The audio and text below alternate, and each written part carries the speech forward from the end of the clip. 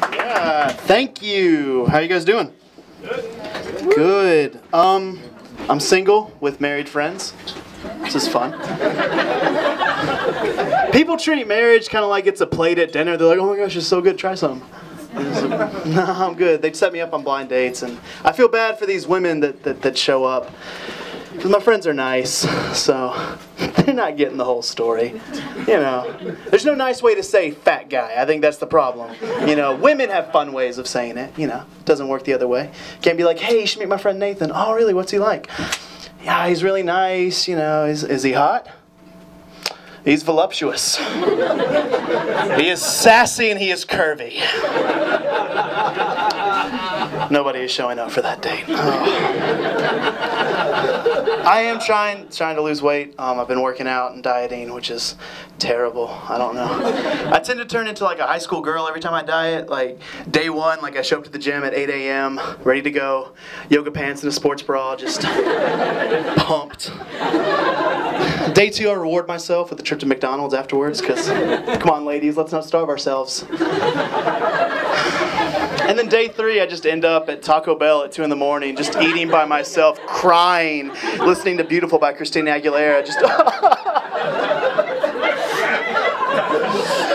I was sorry that I'm real, you know? I'm just too real for people, you know? Words won't bring me down. Oh. I don't know. My friends try to help me out. They're like, hey, Nathan, just be honest and confident. It's like, nah. I can be one or the other, you know. Because together it's just like, hey, how are you? Yeah. My name is Nathan Owens. I'm 23. I live at home with my parents. my ideal evening? Well, it's uh, probably getting drunk and playing Madden by myself. That would be it. I have a created player. He is very good. I have to create myself.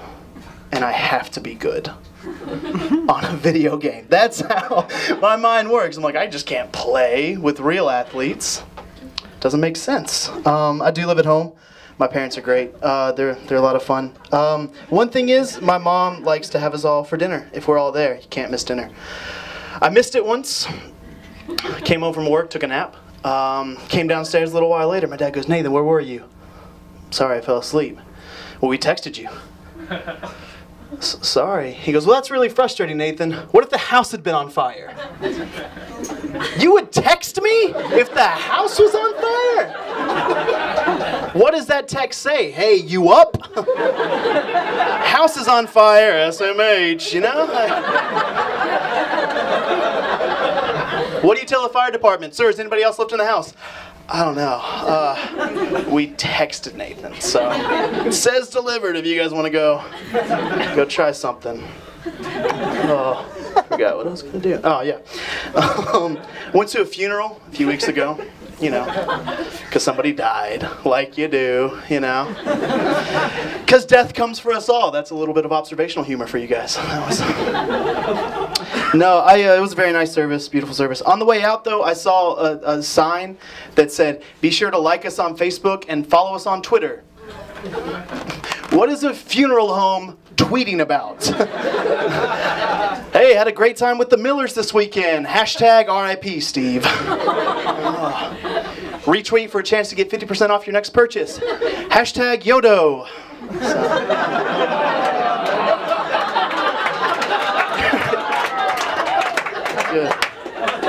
Oh, Facebook. I guess they post a lot of pictures, you know. Brown casket, blue suit. Who wore it best?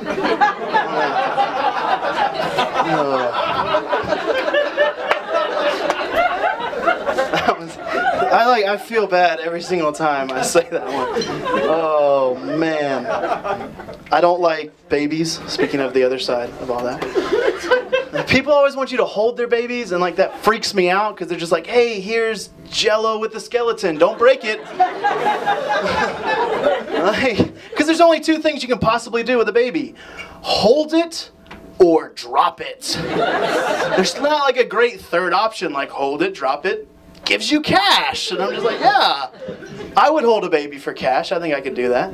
And like, there's there's a part of me that every single time I hold a baby, I'm just like if I just dropped one, I would never have to hold one again. Like, and I'm not saying if I'm like on concrete, I'm just like, no, but if there's like a couch around and I could kind of roll it onto the couch, just get that reputation, like a stunt baby or something like that. I don't know. They bounce, they kind of bounce back. Oh. Speaking of babies, I don't like birthdays. People throw babies birthdays.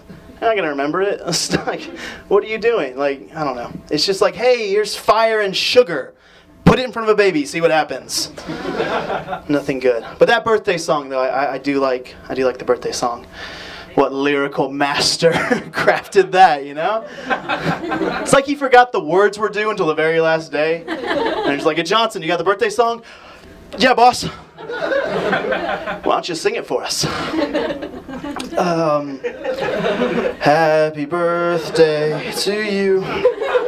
Happy birthday to you. Happy birthday. And then you just put in whoever's name it is. Happy birthday to you. He's a genius. We'll sing it from now on. Uh, I was born in 1990, so I grew up with Disney which was fun. Um, and I had two sisters and Disney, so I know every princess song. That's because my mother wanted to teach us about government very early. She goes, all right, guys, we're going to vote. Do you guys want to watch Davy Crockett or Little Mermaid? And I got voted two to one every single time. I don't know, it didn't work. Um, People say Disney's racist. I, you know, you know, it's maybe I don't really know. I just don't think they do any research. I think that's the problem. They're just kind of like, all right, guys, we've got the movie Dumbo. We have some fun cartoon birds. What should we name this one? Jim. All right, Jim the bird. What kind of bird? Crow? Jim Crow. You know what? It's gonna be okay. Don't give him a stereotypical voice though. That's gonna, people are gonna catch on. Jasmine's costume, that's a good one. The animator's sitting around. Hey, what do we got, guys? Oh, let's see. We got an Arabic woman living in the 15th century. Bikini top, parachute pants. Call it a day. The women wear less clothing over there because it's really hot. So that's how it works. I'm a very competitive person. I don't like to lose. Um, people are always like, hey, Nathan, just calm down. Have fun. And I'm like, winning's fun.